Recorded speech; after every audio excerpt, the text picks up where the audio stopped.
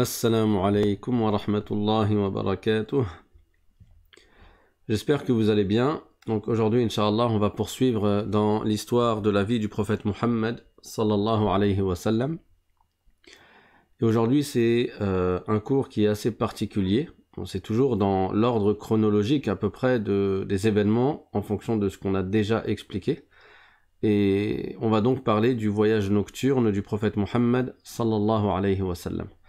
Euh, Alhamdulillah, euh, ce voyage-là a eu lieu pendant le mois de Rajab et nous sommes pendant le mois de Rajab. Donc euh, c'est bien tombé.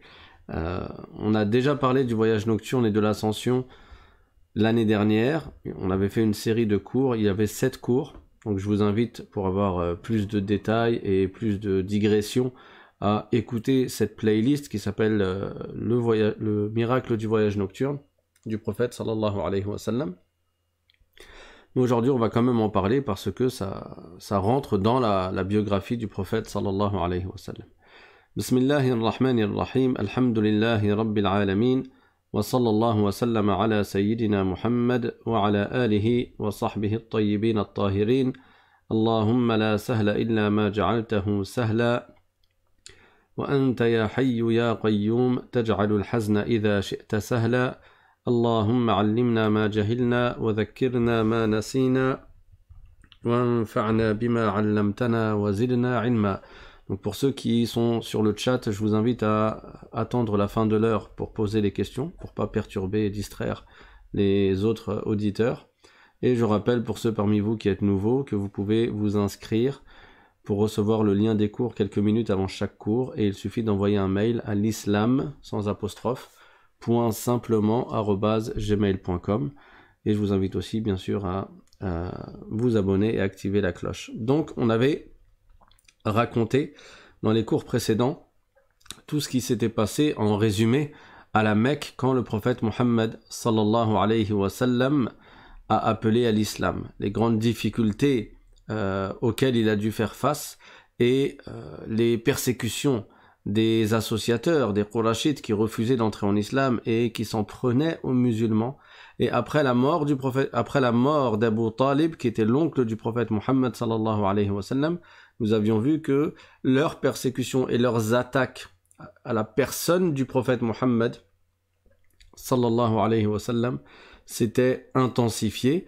Et donc le prophète sallallahu alayhi wa est parti à At-Ta'if, comme on avait vu, il a demandé un soutien à la tribu de Thaqif qui y vivait. Euh, ils ont refusé de le soutenir, il les a appelés à l'islam, ils ont refusé d'entrer en islam, et en plus de cela, ils lui ont fait du mal eux aussi. Donc le prophète sallallahu alayhi wa sallam, il est rentré à la Mecque en étant extrêmement attristé, et après tout cela, dans cette période qui était extrêmement difficile pour lui, Allah Ta'ala lui a accordé un immense honneur qui était un miracle parmi les plus grands des miracles, et c'était le voyage nocturne et l'ascension du prophète sallallahu alayhi wa. Alors quand est-ce que ce voyage a eu lieu? Il a eu lieu pendant le mois de Rajab. Le mois de Rajab, c'est le mois qui précède le mois de Sha'ban, qui lui précède le mois de Ramadan. Maintenant, dans quelle année ça a eu lieu? Il y a divergence entre les savants. L'imam Nawawi euh, il a dit que ça a eu lieu un an avant l'égir. Et d'autres savants, ils ont dit non, un peu plus tôt quand même. Donc il y a divergence sur l'année dans laquelle a eu lieu le voyage nocturne et l'ascension. Mais ce sur quoi les savants sont clairs, c'est que c'est un vrai voyage que le prophète sallallahu alayhi wa sallam a fait. C'est un voyage avec le corps et l'âme. C'était pas juste un rêve. Le voyage nocturne, c'était un vrai voyage que le prophète sallallahu alayhi wa a fait. Et la preuve, c'est que les associateurs, quand le prophète sallallahu alayhi wa a annoncé et a raconté son voyage, les associateurs ne l'ont pas cru. Et ils sont partis voir Abu Bakr et lui ont dit, radiyallahu anhu, et lui ont dit, t'as entendu ce que ton copain, de ce que ton compagnon y prétend? Il prétend être parti jusqu'à Jérusalem et être revenu en même pas une nuit. Si c'était un rêve, les associateurs, ils n'auraient pas été choqués. Ils auraient dit, ok, bah, c'est un rêve, et puis c'est tout. Non, là, ce qui les a euh, étonnés et ce pourquoi ils n'y ont pas cru, c'est qu'il s'agissait d'un vrai voyage avec le corps et l'âme. Donc le prophète, sallallahu alayhi wa sallam, une nuit, il a prié Salatul Atama, la prière de nuit, et euh, il est parti se coucher dans la maison de sa cousine Ummu Hani, et il dormait entre son oncle Hamza et son cousin Ja'far. Alors je ne vais pas entrer dans tous les détails dans lesquels j'étais entré dans la série euh, sur le voyage nocturne et l'ascension, et en même temps je vais rajouter des choses que je n'avais pas dites dans euh, les cours de l'année dernière. Donc Inch'Allah, dans tous les cas, il y a un profit à réécouter cette histoire et il y aura des nouvelles informations. Donc Jibril, alayhi salam, il est venu jusqu'au prophète sallallahu il a soulevé le toit de la maison et il l'a pris, ils sont partis à côté de la Kaaba au niveau du puits de Zamzam. Le puits de Zamzam, c'est de l'eau qui euh, jaillit là-bas à côté de la Kaaba. Et c'est une eau qui est bénie. L'ange Jibril alayhi il a ouvert la poitrine du prophète Muhammad sallallahu alayhi wa sallam. Et ça, il l'avait déjà fait quand le prophète sallallahu alayhi wa sallam était petit, lorsqu'il était enfant. Et j'avais raconté cela dans euh, le deuxième ou le troisième cours de cette playlist, de cette série de cours qui est la vie du prophète Muhammad sallallahu alayhi wa sallam. Quand le prophète était petit, l'ange Jibril alayhi salam était venu avec l'ange Mikaïl et lui avait ouvert la poitrine et il avait lavé son cœur. Là, le prophète a eu cette, euh, une deuxième fois cet événement. Jibril a ouvert sa poitrine pour laver son cœur, pour qu'il soit prêt à supporter tout ce qu'il allait voir d'étonnant et tout ce qu'il allait voir d'impressionnant. Le prophète sallallahu allait être emmené dans les cieux. Il allait voir des choses extraordinaires, des choses impressionnantes qu'on n'a pas l'habitude de voir ici-bas, dans ce bas monde. Et donc, pour être prêt à voir, tout cela, Jibril alayhi salam, il a sorti son cœur, il l'a lavé avec de l'eau de Zamzam, et après, il l'a lavé avec un seau en or qui est plein de hikmah et de iman.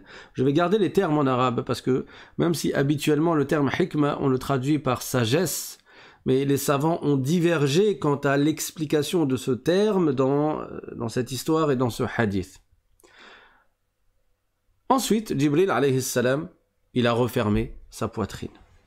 Et Jibril avait apporté avec lui un animal qu'on appelle le buraq.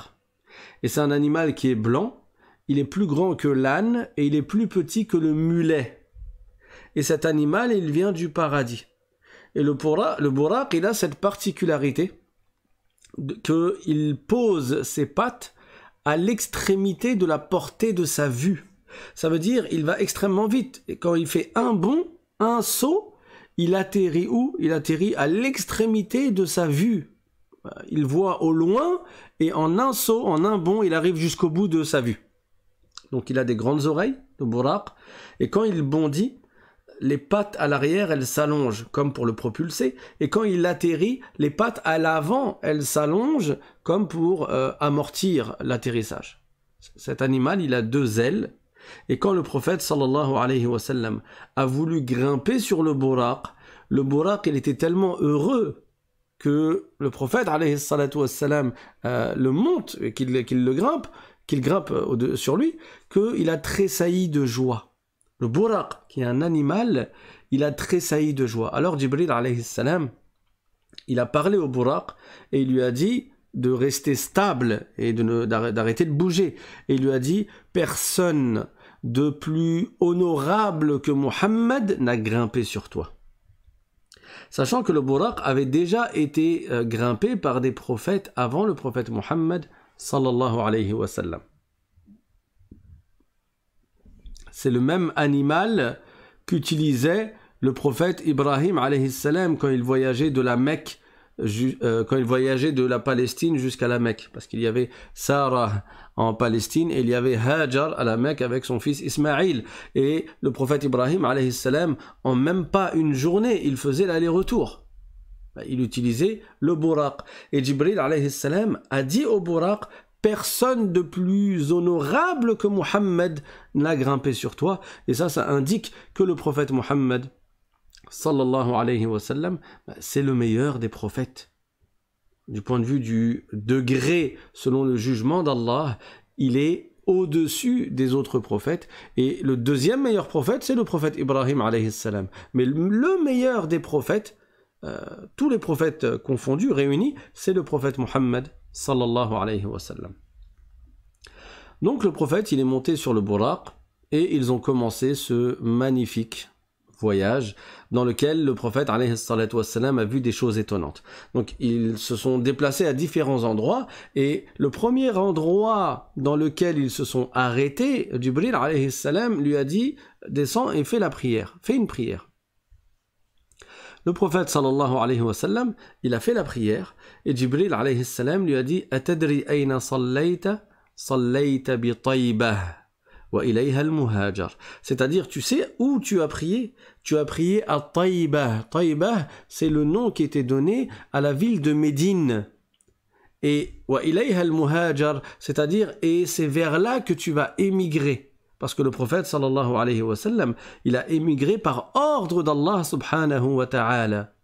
Et lui-même, une fois, il avait dit que euh, il m'a été montré une terre avec des palmiers et c'est la terre d'émigration et euh, je, je, pense que ce sera Médine. Donc Jibril alayhi salam lui a dit tu as prié à Médine. Le prophète sallallahu alayhi wa à ce moment-là n'avait pas encore émigré.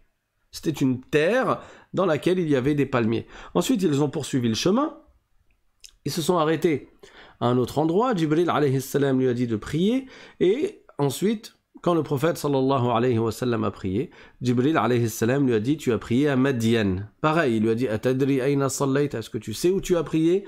Sallayta bi Madian. Madian, c'est la ville dans laquelle vivait un autre prophète qui est le prophète Shu'aib alayhi qui est un des quatre prophètes arabes.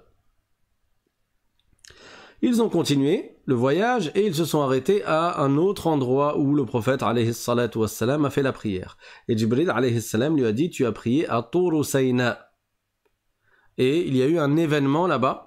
Euh, le prophète Moussa salam s'était rendu euh, à Tour Je ne vais pas maintenant entrer dans les détails de cet événement. Je vous invite à, encore une fois, à écouter la playlist des cours sur le voyage nocturne et l'ascension. Ensuite, le prophète sallallahu alayhi wa sallam a continué le chemin avec Jibril alayhi et le Buraq et ils se sont arrêtés à un endroit où il a prié et c'était Baytul la ville dans laquelle est né le prophète Isa alayhi qui est l'avant-dernier prophète. Et pour tous ceux qui demandent à chaque fois euh, euh, où est le cours sur le prophète Isa alayhi euh, parce que à chaque cours je reçois cette question et dans les mails également et dans les messages.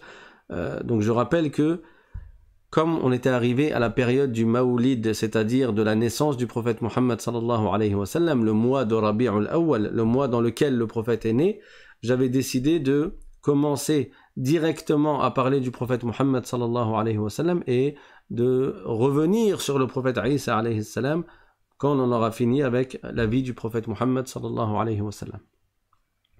Donc Isa alayhi salam, c'est l'avant-dernier prophète.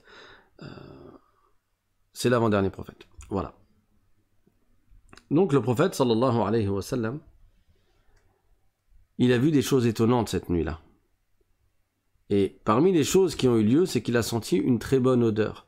Et cette odeur, en fait, elle provenait d'une tombe. C'était la tombe de la coiffeuse de la fille de Pharaon. Pharaon, on en a déjà parlé euh, moult fois.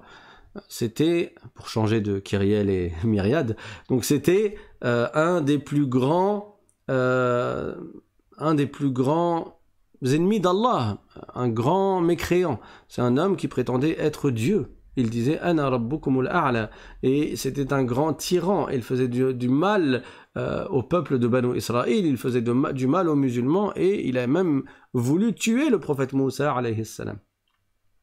Donc lui, il prétendait être Dieu il prétendait avoir la divinité et il ordonnait aux gens de l'adorer. Il avait une fille, Pharaon. Il avait une fille. Cette fille, elle avait une coiffeuse. Et cette coiffeuse, une fois, elle a fait tomber le peigne euh, lorsqu'elle coiffait la fille de Pharaon, et pour le ramasser, elle a dit Bismillah.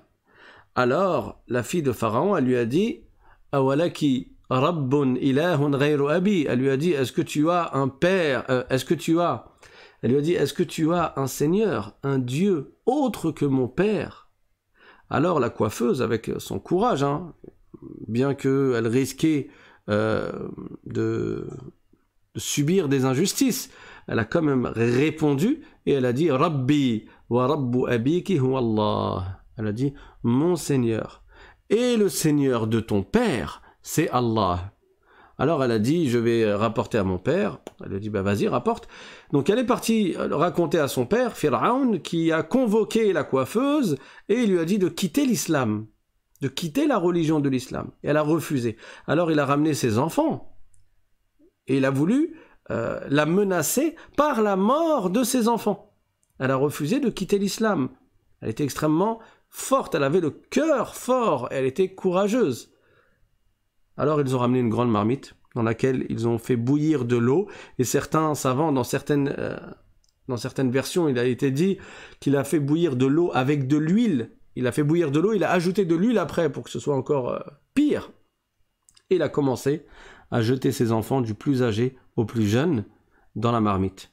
Et elle, elle voyait ses propres enfants, euh, la peau, elle fondait sur les os. Et c'est extrêmement dur pour elle. Et à chaque fois, il lui disait, quitte l'islam et elle refusait de quitter l'islam. Jusqu'à ce qu'il arrive au bébé, euh, qu'elle, c'était encore un bébé, il n'était pas en âge de parler. Et là, elle a été encore plus attristée, ça a été encore plus douloureux pour elle de voir que son bébé, qui était euh, fragile, qui était faible, il allait lui aussi subir la même chose. Et Allah Ta'ala a accordé quelque chose d'extraordinaire à cette femme, c'est qu'il a fait que son bébé qui n'est pas en âge de parler, il lui parle pour raffermir encore plus son cœur et pour la tranquilliser. Et alors ce bébé a dit Ya umma al-akhirati ashaddu min azab ad-dunya fala tataqa'asi fa innaki 'ala al-haqq. C'est-à-dire ô maman, fais preuve de patience parce que le châtiment de l'au-delà est plus intense que le châtiment de ce bas monde. Alors ne sois pas affaibli, ne, ne, comment dire, ne reviens pas sur tes pas, ne, ne, ne flanche pas, on dit, bref. En tout cas, il a dit euh, à sa mère de rester ferme, de rester sur ce sur quoi aller, et il a dit fa al parce que tu es sur la vérité. Après ça, il a jeté, Pharaon a fait jeter le bébé qui est mort, et il allait jeter la coiffeuse également dans la marmite. Alors elle lui a dit J'ai une chose à te demander, c'est que tu réunisses les os de mes enfants et mes os et que tu les enterres au même endroit. Alors Pharaon lui a dit Il lui a dit Je t'accorde cela parce que tu étais au service de ma famille, quand même. Alors je te l'accorde. Et il a tué cette femme par cette torture-là. Il l'a fait, euh, il l'a jeté dans l'eau bouillante et il a réuni les os et les a enterrés au même endroit. Et c'est de cette tombe-là qu'a émané une odeur qui est extrêmement bonne et que le prophète Mohammed a senti la nuit du voyage nocturne et de l'ascension. Cette odeur qui indique que cette femme était une femme vertueuse et c'était une femme martyre. Également, la nuit du voyage nocturne et de l'ascension, le prophète a vu des gens qui avaient la tête qui se fracassait contre des rochers. Et après, elle redevenait comme elle était. Alors nous, on a mal si on nous fait une tape dans la tête, ou bien euh, un coup de marteau ou un coup de batte de baseball, ça fait extrêmement mal. Mais pourtant, la tête, elle ne se fracasse pas forcément. Alors imaginez-vous la douleur et la souffrance. Le prophète sallallahu alayhi wa sallam a vu des gens, leur tête, elle se fracassait elle s'écrasait contre des rochers et après elle redevenait comme elle était. Et il a dit, alayhi salatu wassalam, Jibril, Il lui a dit, qui sont ces gens-là? Jibril, alayhi salam, lui a dit, Haoula illadhina tatathaqalu ru'usuhum. Ces gens-là, c'est-à-dire ce sont des représentations de ces gens-là.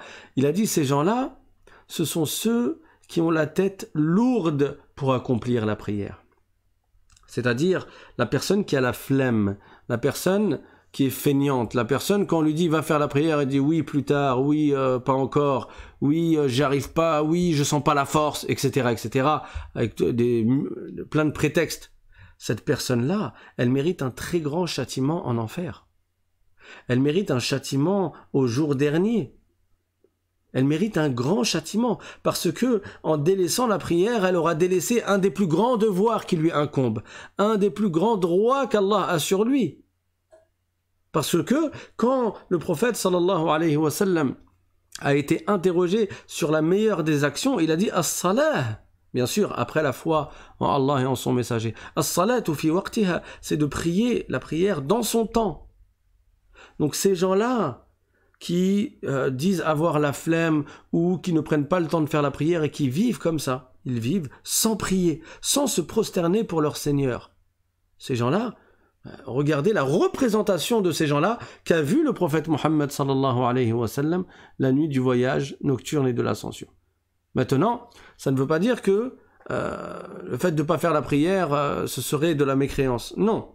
Celui qui ne fait pas la prière, il est musulman tant qu'il ne renie pas le caractère obligatoire de la prière. Je ne parle pas de celui qui dit oh non la prière c'est pas obligatoire. Celui-là, celui qui dit la prière c'est pas obligatoire, celui-là c'est comme s'il disait le prophète est un menteur. C'est comme s'il disait je ne crois pas au Coran parce que dans le Coran Allah Ta'ala dit Inna mawquta. C'est-à-dire que la prière a été prescrite par Allah pour les croyants euh, dans des temps déterminés. C'est connu que la prière, c'est un devoir en islam. Donc quelqu'un qui renie le caractère obligatoire de la prière, celui-là, il se sera, il aura démenti le messager. Et donc il sera tombé dans une des sortes de kufr, dans une des sortes de mécréances. Donc là, je ne parle pas de cette personne-là. Je parle de, du musulman qui délaisse la prière tout en reconnaissant que la prière est obligatoire. Mais il a la flemme, il est feignant, il dit plus tard, plus tard, plus tard. Celui-là, il n'est pas mécréant. Celui-là est musulman.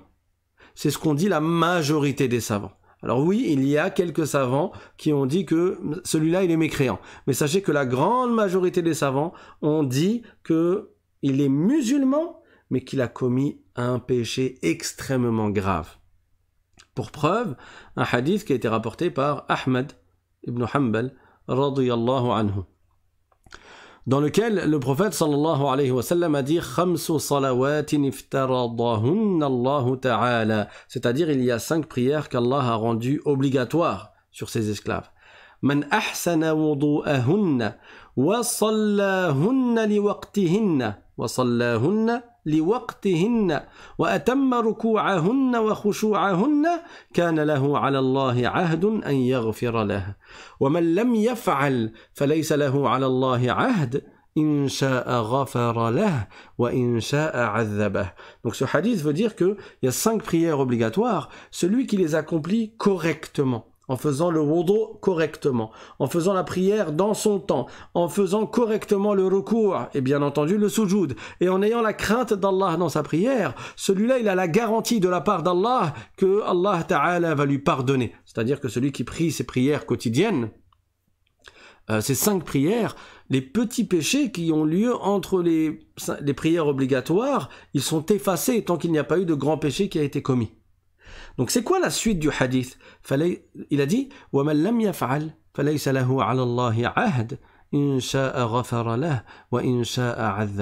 Par contre, celui qui ne fait pas la prière, alors il n'a pas cette garantie. Si Allah veut, il lui pardonne, et si Allah veut, il le châtie.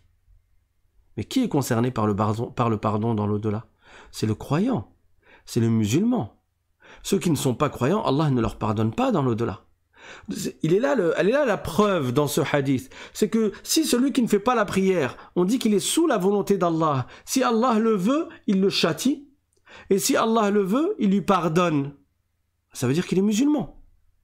Parce que s'il n'avait pas été musulman, en aucun cas, il ne serait concerné par le pardon dans l'au-delà.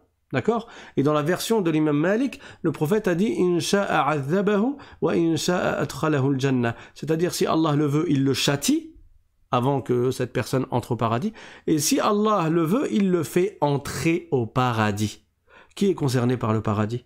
Le musulman, le croyant. Celui qui n'a pas cru en Allah et en son messager, celui qui n'est pas croyant, qui n'est pas musulman, celui-là ne sentira pas l'odeur du paradis. Celui-là méritera, il, aura l'enfer pour l'éternité. N'est-ce pas? Donc, ce hadith est une preuve que euh, même si la personne ne fait pas la prière, elle reste musulmane. Mais, mais, son péché est tellement grave que le prophète l'a fait ressembler aux mécréants. Le prophète sallallahu alayhi wa sallam a dit al-abdi wa al-kufri c'est-à-dire entre la personne et la mécréance, entre l'esclave d'Allah et la mécréance, il y a le fait d'arrêter la prière, le fait de délaisser la prière. Il y a le fait de délaisser la prière. C'est une image, c'est une figure pour indiquer l'extrême gravité de ne pas faire la prière, la gravité du péché qui est le fait de ne pas faire la prière. D'accord? Donc ce hadith ne veut pas dire que ne pas faire la prière c'est de la mécréance. Mais la prière, ça reste le plus important des devoirs après la foi en Allah et en son messager. Le prophète sallallahu alayhi wa sallam, il a beaucoup insisté sur la prière. La prière, c'est la première chose après la foi. C'est la première chose après la foi en Allah et en son messager sur laquelle la personne sera interrogée dans l'au-delà. La première question après le fait d'être croyant, la question sur ta foi, la première question concernera ta prière. Et à notre époque, la foi des gens, elle a tellement baissé que certains, bah, ils délaissent la prière euh, au quotidien et certains ne prient pas du tout. Il y a ceux qui la font de temps en temps et, parfois ils ne la font pas. Et il y a ceux qui ne la font pas du tout. Et là, j'ouvre juste une parenthèse dans cette digression, c'est que il ne faut pas dire à celui qui prie de temps en temps et parfois il ne prie pas, il il faut pas lui dire non mais toi arrête de prier, hein, ça sert à rien ce que tu fais. Non, ça ne sert pas à rien. Prier quelquefois, ça reste moins grave que de ne pas prier du tout. Ne dites pas à une personne qui prie de temps en temps, mais toi, euh, il vaut mieux que tu, euh, tu pries pas du tout, hein, parce que ce que tu fais là, c'est n'importe quoi. Alors, ce qu'il fait, c'est grave parce qu'il délaisse des prières, mais c'est moins grave que de délaisser toutes les prières. D'accord? Allah Ta'ala dit dans le Coran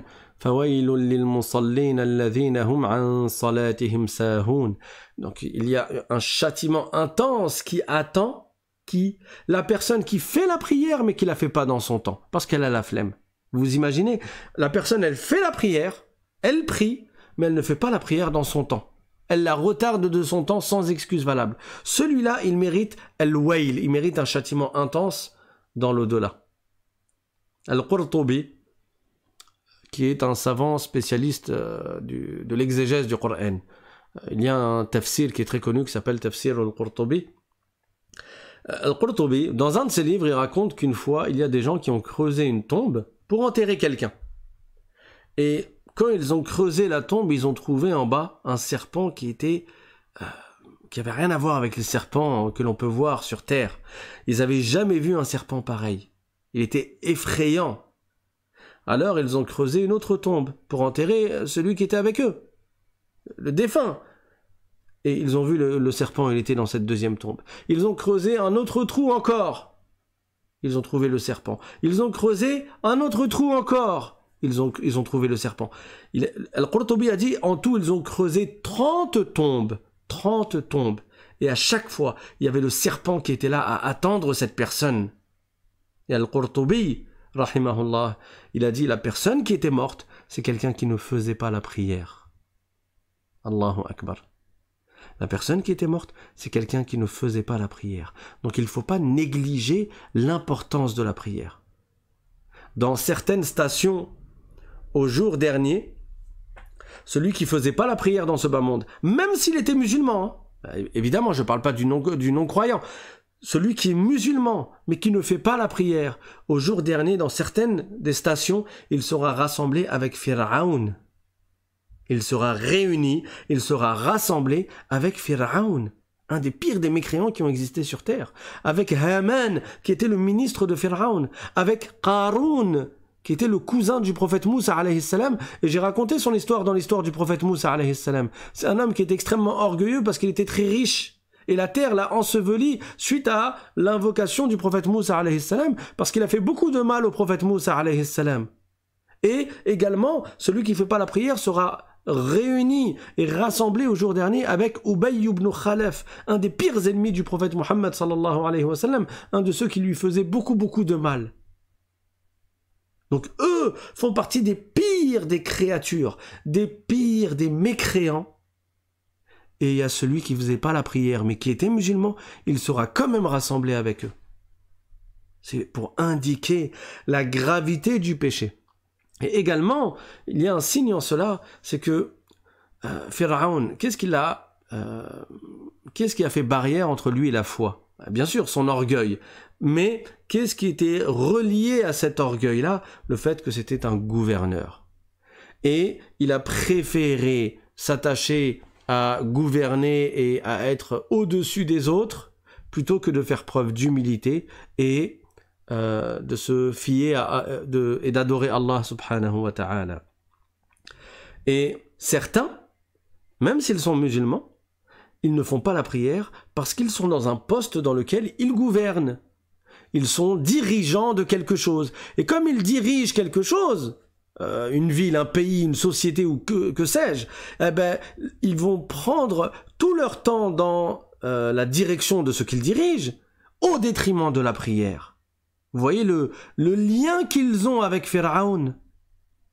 Même si euh, ils ne sont pas pareils que Pharaon, parce que eux ils sont musulmans, alors que Pharaon ne l'est pas. Mais c'est pour ça qu'ils seront rassemblés avec Pharaon. Pourquoi ils seront rassemblés également avec Haman? Haman, c'était le ministre de Pharaon. Il, accomplissait pour Pharaon les tâches, euh, beaucoup d'injustices, et donc le travail qu'il faisait dans sa, en tant que wazir, euh, ministre, euh, l'a détourné de l'obéissance à Allah, de l'adoration d'Allah. Et combien de gens leur travail parce qu'ils sont ministres de quelque chose ou parce que ils sont euh, les seconds de celui qui dirige, alors ils vont passer leur temps à travailler dans leur, euh, cette chose-là qui est de l'ordre de la dunya au détriment de la prière. Ils vont pas faire la prière. Eh bien, ils seront rassemblés avec eux. Également Qarun. Qu'est-ce qui a empêché Qarun de faire preuve d'humilité et d'être musulman? C'est son orgueil, bien entendu, euh, rattaché à son argent, relié à son argent, parce qu'il était extrêmement riche, extrêmement riche. Déjà, il fallait des chameaux pour porter les clés des pièces dans lesquelles il y avait ses trésors. Et je vous invite à euh, écouter le cours dans la playlist euh, les histoires des prophètes, le cours qui s'appelle Le cousin du prophète Moussa salam, il s'agit de Qarun. Donc combien de gens, parce qu'ils ont beaucoup d'argent, ben, ils se préoccupent de leur argent au détriment de la prière. Eh ben, ils seront rassemblés avec Qarun. Et Ubay ibn Khalaf, lui c'était quelqu'un qui faisait du commerce. Et lui aussi, bah, dans son commerce, il a refusé d'adorer Allah, il a refusé de se soumettre, il a fait preuve d'orgueil. Eh ben, tous ces commerçants qui, à cause du commerce, à cause du, du travail, j'allais dire du taf, à cause du travail, ils vont délaisser la prière, ils vont retarder toutes leurs prières. C'est haram, c'est haram de retarder ses prières. Euh, alors il y a des exceptions et il y a des façons de rassembler les prières. D'accord? Mais ceux qui retardent toutes leurs prières jusqu'à la nuit, par exemple, ben cela tombe dans un péché au quotidien. Donc, il faut faire très attention. C'est pas pour rien que la nuit du voyage nocturne, ce, miracle qui était immense, le prophète sallallahu alayhi wa sallam, il a vu des gens qui avaient la tête fracassée et qui redevenait comme elle était. Et après, elle se fracassait à nouveau et elle redevenait comme elle était. Il s'agit de ceux qui étaient euh, feignants et qui ne faisaient pas la prière. Le prophète sallallahu alayhi wa sallam, il a dit dans un hadith, Man taraka salat al-asr, faqad habita amaluh. Ça veut dire celui qui a délaissé la prière du asr, c'est comme s'il avait perdu toutes les bonnes œuvres de sa journée. Tellement c'est important. Allah Ta'ala dit dans le Coran c'est-à-dire attachez-vous, persévérez sur les prières, hein, les cinq prières, et particulièrement la prière al-wusta, la prière du milieu, qui est la prière du asr, selon ce qu'ont dit certains savants. Pourquoi cette prière en particulier? Parce que c'est celle que délaissent les gens qui courent après la dunya. Bah oui, le rassal c'est en plein pendant le travail, c'est en plein pendant le commerce, c'est en plein pendant la journée, et combien de gens ils vont délaisser ça pour euh, la subsistance, pour courir après l'argent? Allah, dans le Coran, la révélation de Dieu à son prophète Muhammad sallallahu alayhi wa sallam, il y a un verset dedans dans lequel Allah dit ala salawati wa Persévérez ne délaissez pas. Attachez-vous à accomplir les prières, et particulièrement la prière du milieu, c'est-à-dire la prière du Asr. La nuit du voyage nocturne. Alors, subhanallah, je, je comptais euh, quand même euh, faire un résumé parce qu'on en a déjà parlé l'année dernière. Mais bon, c'est parti comme c'est parti. Euh, on dirait qu'on va refaire une série dans la série. Mais c'est pas grave. Ifada. Les savants ont dit, dans la répétition, il y a une utilité, il y a un profit. Donc il n'y a pas de mal, même si on réécoute les mêmes informations plusieurs fois.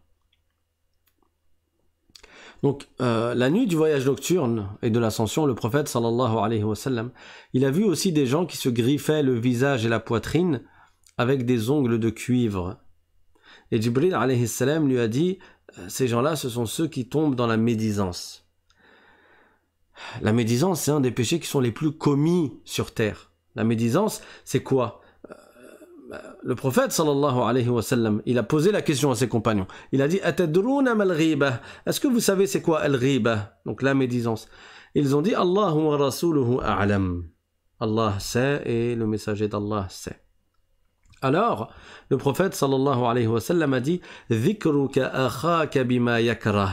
C'est-à-dire c'est le fait de citer euh, ton frère dans ce qui lui déplaît, de parler, bien sûr dans son dos, hein, de parler dans le dos de ton frère en islam, dans ce qui lui déplaît.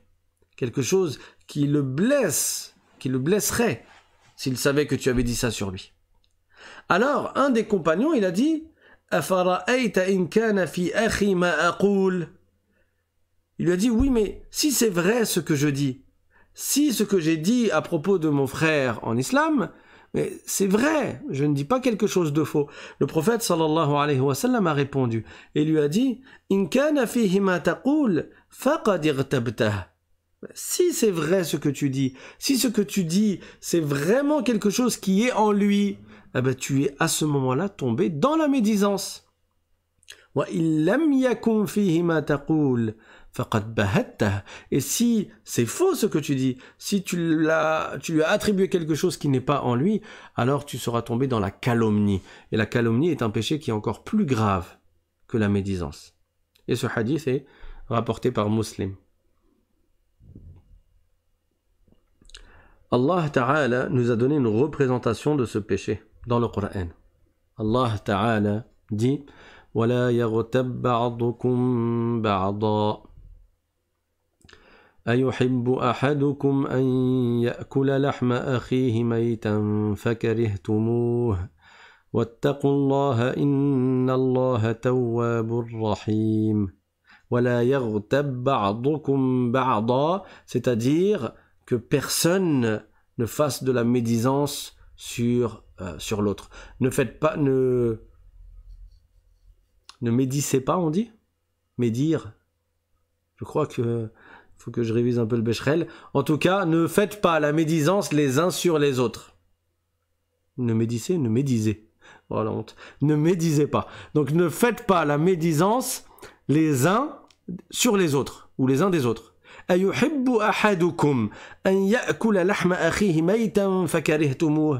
Est-ce que l'un d'entre vous aimerait euh, manger, consommer la viande du cadavre de son frère? Vous n'aimeriez pas cela. Ton frère est mort. Tu veux manger de sa chair, la chair de son cadavre? Tu n'aimerais pas cela. Donc c'est une comparaison, euh, c'est une représentation de la médisance. Le fait de parler dans le dos de ton frère en islam, c'est comme si il est mort et toi tu, tu, tu bouffes son cadavre. Comme si tu manges son cadavre. Et suite à cette image-là, suite à cette représentation-là, Allah nous rappelle l'importance de le craindre et de lui obéir. c'est-à-dire faites preuve de piété à l'égard d'Allah. En le craignant, en accomplissant ce qu'il vous ordonne et en évitant ce qu'il vous interdit. Inna Allah rahim. Et Allah est certes celui qui accorde le repentir et celui qui fait miséricorde. Et alors, parler en mal, hein, comme j'ai déjà dit à, maintes reprises, parler en mal sur ton frère en islam, combien de gens le font et ils ne s'en rendent même pas compte Pour eux, c'est comme boire de l'eau. Et en réalité, ils n'accepteraient pas qu'on dise cette chose-là sur eux.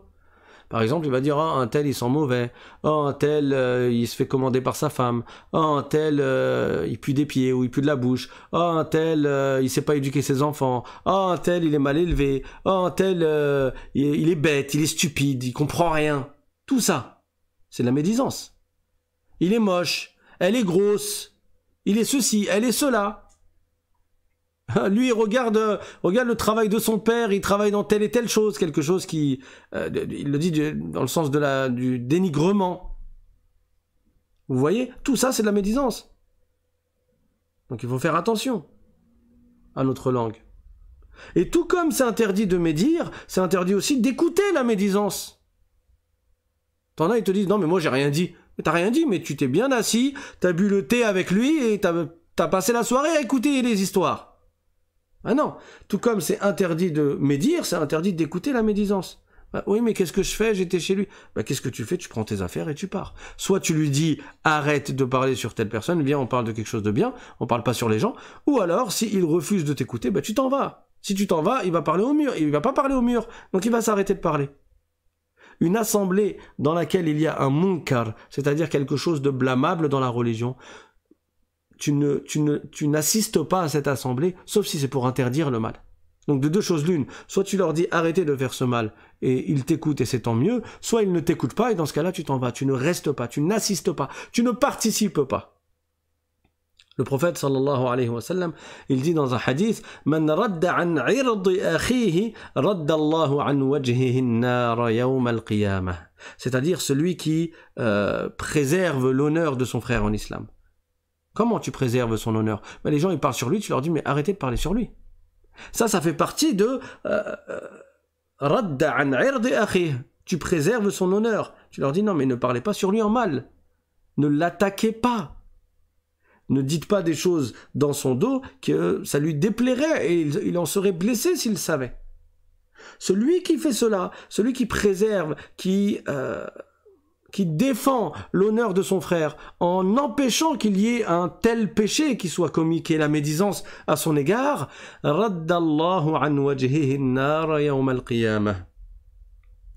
ça veut dire Allah Ta'ala, il euh, éloigne de son visage le feu au jour dernier. Allah éloigne de son visage le feu au jour dernier. Donc la personne, euh, qu'elle regarde déjà ses propres défauts au lieu de se préoccuper des défauts des autres et d'en parler. Parce que c'est quoi la médisance? C'est parler des défauts des autres. Parler en mal sur ton frère ou sur ta sœur, bien sûr, hein, c'est pareil. Mais ça, c'est quoi c'est, Ça veut dire que tu te préoccupes des défauts des autres Mais t'as pas des défauts, toi On n'a pas déjà, nous, suffisamment de défauts pour essayer de, de parler des défauts des autres Il y a euh, des vers de poésie qui sont très connus, dans lesquels l'auteur a dit إذا رمت أن تحيا سليما من الأذى ودينك موفور وعرضك صين لسانك لا تذكر به عورة امرئ فكلك عورات وللناس ألسن وعيناك إن أبدت إليك معايبا فدعها وقل يا عين للناس أعين وعاشر بمعروف وسامح من وسامح من اعتدى وعاشر بمعروف وسامح من اعتدى ودافع ولكن بالتي هي أحسن. Ces vers de poésie, ils parlent justement de, du sujet que nous sommes tout de suite en train de traiter. Ça veut dire, si tu souhaites vivre en étant sauf de nuisances, en étant préservé des nuisances des autres. Et tu souhaites que, euh, entre autres, ton honneur soit gardé, ton honneur soit préservé, que les gens ne parlent pas en mal sur toi, que les gens n'essayent pas de dévoiler tes défauts et de te critiquer dans ton dos, etc. Si tu souhaites tout cela, لسانك لا تذكر به عورة امرئ فكلك عورات وللناس ألسن alors ta langue ne l'utilise pas pour dévoiler les défauts de quelqu'un d'autre, pour critiquer quelqu'un d'autre, parce que les autres, ils ont aussi des langues, et toi tu as aussi des défauts. Donc ne fais pas aux autres ce que tu n'aimerais pas qu'on te fasse. Et si tu fais aux autres quelque chose qui est mauvais, attends-toi à subir la même chose que tu as fait. Avec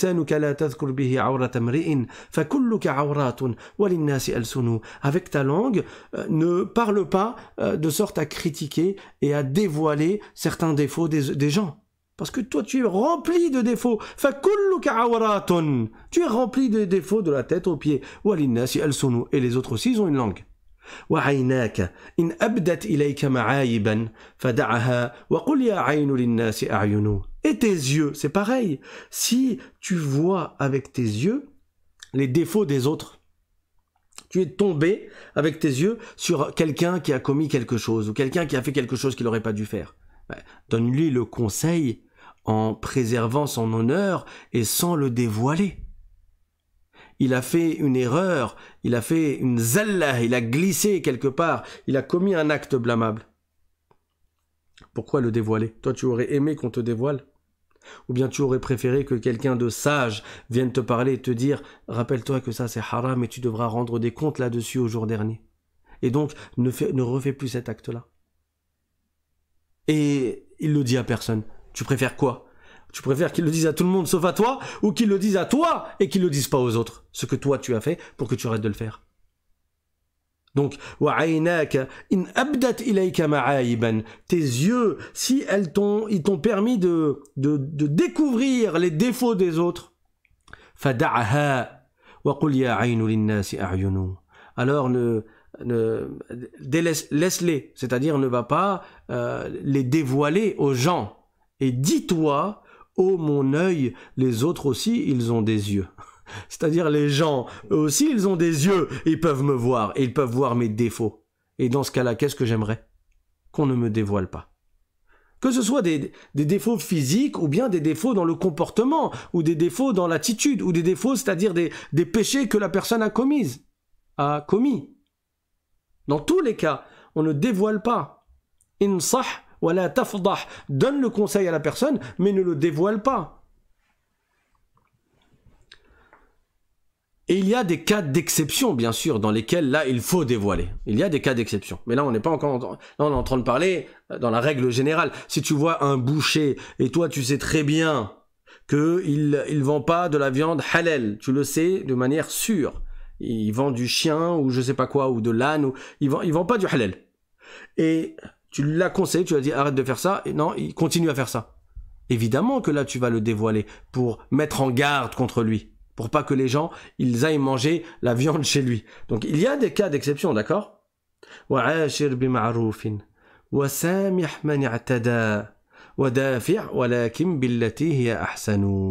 Et euh, vis avec les gens euh, en agissant avec bienfaisance. Donc quand tu es en communauté, quand tu es avec les autres, quand tu te mélanges aux autres, il convient que tu vives avec eux avec bienfaisance, que tu agisses en bien. Et si quelqu'un était injuste envers toi, tu lui pardonnes. Si quelqu'un t'a fait du mal, t'a causé du tort, tu lui pardonnes. Toi, tu aimerais être pardonné dans l'au-delà. Alors pardonne aux autres. Et quand tu réponds aux gens, tu réponds de la plus douce des manières, de la plus belle des manières, de la manière la plus sage. Alors on va s'arrêter là, inshallah, pour aujourd'hui. Il y a d'autres choses que le prophète sallallahu alayhi wa sallam a vues dans la nuit du voyage nocturne et de l'ascension. On en parlera, inshallah, dans le prochain cours. Je rappelle, pour ceux qui êtes nouveaux parmi vous, que vous pouvez vous inscrire pour recevoir le lien des cours quelques minutes avant chaque cours envoyez donc un mail à l'islam sans apostrophe simplement gmail.com donc je vais voir s'il y a des questions dans le chat et bien sûr n'oubliez pas de euh, partager ces cours à tous ceux que vous connaissez pour qu'ils puissent en profiter.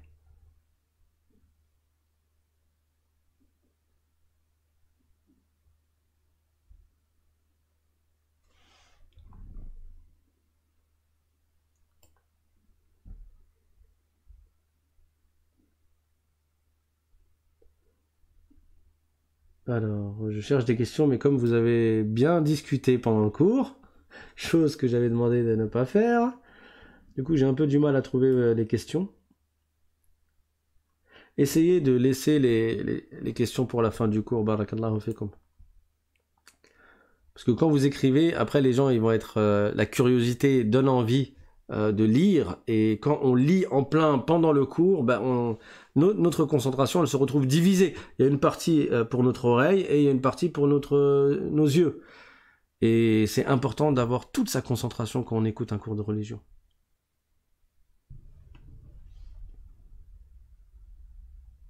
Quelqu'un demande est-ce que les questions c'est obligé en rapport avec le cours?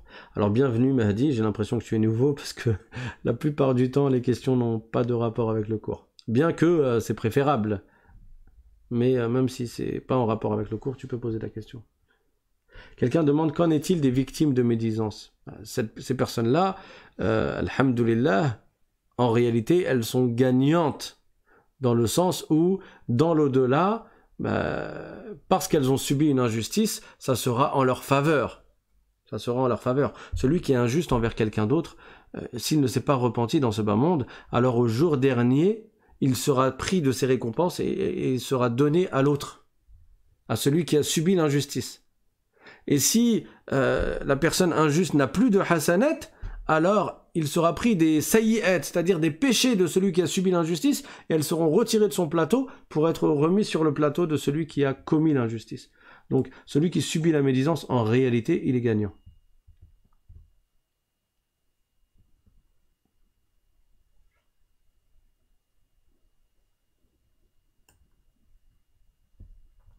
Alors la question de Sabrina Adé, une personne qui meurt sur autre que l'islam n'entrera pas au paradis parce qu'elle aura refusé de, croire au prophète Mohammed sallallahu qui est envoyé par Allah. Donc en réalité ça veut dire qu'elle ne s'est pas soumise à Allah.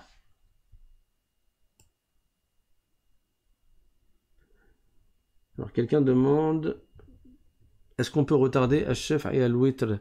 Oui, tu peux retarder jusqu'à avant le Fajr, jusqu'à avant le temps du Subh. Alors si tu es sûr de te lever la nuit, ou tu penses fortement te lever la nuit pour faire des adorations, pour faire Qiyamul Layl, pour faire des prières, dans ce cas-là, tu te couches sans faire le Pourquoi? Parce qu'il convient que ce soit la dernière prière de la nuit. Donc tu te couches parce que tu sais que tu vas te réveiller après, et après tu fais tes, prières et tu termines ta nuit par Salatul Witr. Si par contre tu penses euh, que tu risques de ne pas te réveiller pendant la nuit, alors tu fais la prière de l'ouïtre avant de dormir.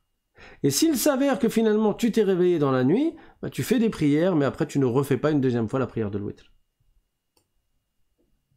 Le prophète sallallahu alayhi wa sallam a dit il n'y a pas deux prières de witr dans la même nuit. Quelqu'un demande le prophète était-il bien euh, illettré car certains disent qu'il ne l'était pas le prophète Mohammed ne lisait pas et n'écrivait pas. Il ne lisait pas et il n'écrivait pas. Et c'est pas une tare le concernant. Au contraire, ça montre qu'il est un prophète parce que tout ce qu'il a raconté des histoires des prophètes précédents, etc., euh, n'a pas pu être euh, le résultat d'une lecture qu'il aurait faite.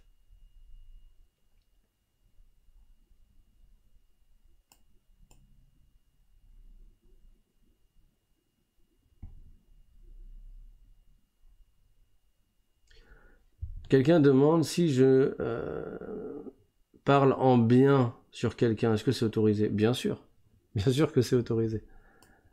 C'est parler en mal, quelque chose qui le blesserait, qui, le qui, lui fait du mal, c'est ça que... Le fait de parler en bien sur lui, c'est pas interdit. Même s'il te dit de pas le dire. Par exemple, quelqu'un il fait des aumônes. Et il te dit, vas-y, ne dis pas que tu m'as vu donner une grosse aumône à la mosquée, par exemple, une grande aumône. Il a donné euh, euh, 5000 euros à la mosquée. Toi, tu l'as su et te dit, ah, ne le dis pas. Et toi, dans son dos, tu vas faire son éloge en disant, lui, machallah, il a, il a donné beaucoup à la mosquée. Là, c'est pas un péché. Parce que c'est pas quelque chose qui le, qui le, qui le blesserait, c'est pas quelque chose qui est une critique. Même si lui, il n'est pas d'accord pour que tu le dises.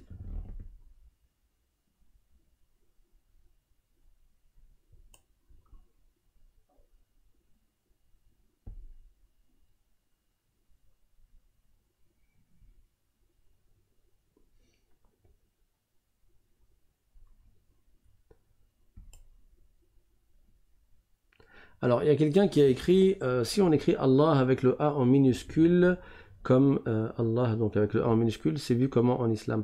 Euh, il faudrait des savants en fait pour répondre à ce genre de questions. Après, dans la règle en français, un nom propre, on met une majuscule. Un, un nom pas propre, comment on dit? Un nom commun. Un nom commun, on met une minuscule. D'accord? Donc euh, logiquement, euh, pour appliquer les règles de l'écriture française, on met une majuscule. Maintenant, bon, on m'a souvent repris parce que dans les messages sur WhatsApp, quand j'écris Inch'Allah, on me dit t'as pas mis une majuscule à Allah. Mais en fait, c'est une translittération et le A que vous voyez dans le deuxième mot, ce n'est pas la première lettre de Allah c'est la dernière lettre de sha'a, du verbe. En réalité, le verbe c'est in, euh, la phrase c'est in, espace, sha'a, espace, Allah. Mais avec la liaison, quand on le prononce en arabe, ça donne Insha'Allah. Mais le A qu'on entend, c'est pas le début du nom de Dieu. C'est la fin du verbe sha'a, qui est euh, le fait de vouloir. Vous comprenez? Donc souvent, je fais pas attention et je mets un A minuscule. Mais on me... en réalité, si on voulait mettre la majuscule, on la met, on la met sur le L. Quand on écrit Inch'Allah, on la met sur le L, parce que c'est ça la lettre du nom de Dieu qui est écrite en premier. Et quant à la lettre qui est la Hamzatul Wasal, hein, le Alif, euh, ben elle ne se prononce pas. Parce qu'il y a liaison, et comme elle ne se prononce pas, ben dans la translittération, on ne l'écrit pas. Mais là encore, comme ça, ça n'est qu'une translittération, est-ce que il faut lui appliquer à la translittération les règles euh, de l'écriture française, euh, de par exemple majuscule, minuscule, etc. Euh, je ne suis pas un moufti, je ne suis pas un savant, et je ne connais pas de savant en France francophone, donc je ne saurais pas vous répondre en réalité. mettez la majuscule et puis vous êtes tranquille.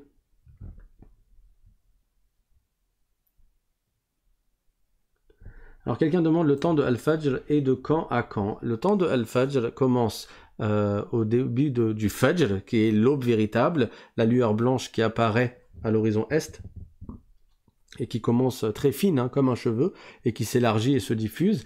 Et le temps du Fajr se termine dès que le soleil commence à se lever.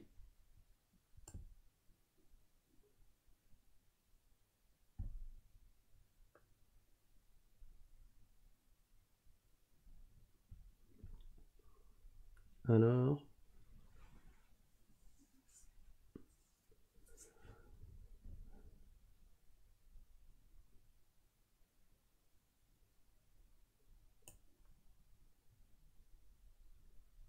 Quelqu'un demande le jugement de la femme qui ne porte pas le voile. Euh, d'une manière générale, euh, couvrir sa zone de pudeur fait partie des devoirs en islam. Et le prophète a enseigné quelle est la zone de pudeur de l'homme et euh, devant une, personne ajnabiya et quelle est la zone de pudeur de la femme devant un homme ajnabi. Et celui qui, qui n'obéit pas à Allah, mais qui est musulman, ben celui-là, il se charge de péché. Et après, lorsqu'il meurt, s'il ne s'est pas repenti de ses péchés, ben on dit qu'il est sous la volonté d'Allah, parce qu'il est mort musulman.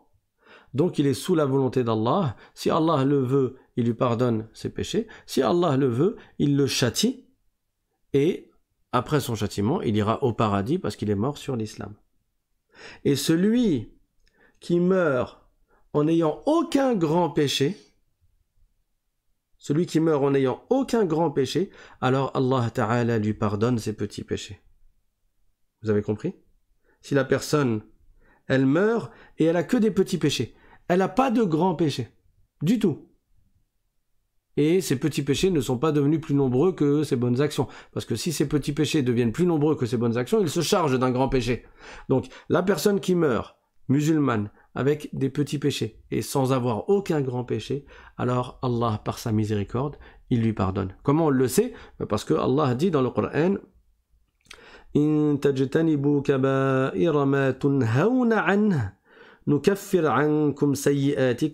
In